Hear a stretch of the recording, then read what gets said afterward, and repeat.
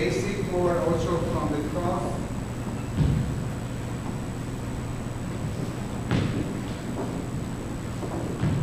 And then we show the forward ocho with an embellishment.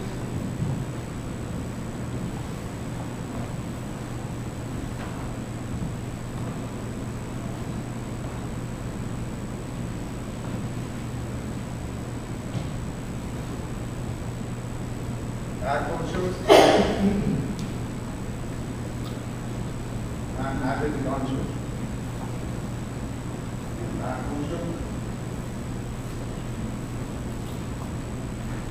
Showing my shoulder and bending the knees as we engage into the.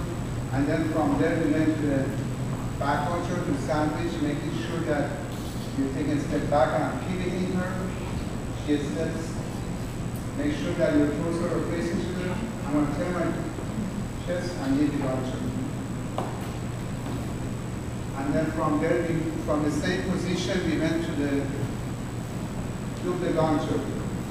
Again, sandwich, one step back, pivot her, lead her forward, make a nice position over here, send her back, and from here I'm gonna lead the back gancho, and then we come up.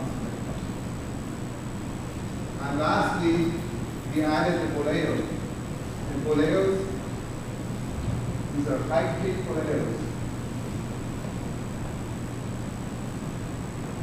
So we're gonna add that to the end of our figure.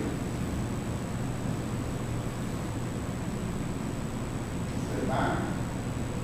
In the first gancho, the second gancho, and then from here I'm boleo. One more time. Okay, step straight back, pivot, make sure the technique is good spacing right here, lead the boleo.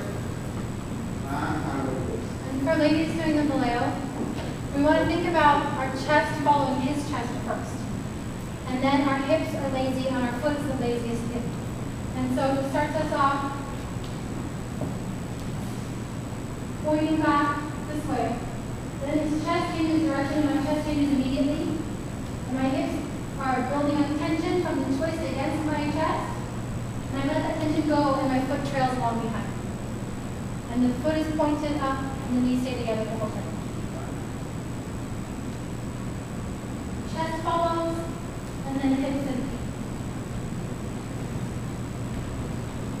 Okay, thank you so much. Thanks for coming. Stop recording.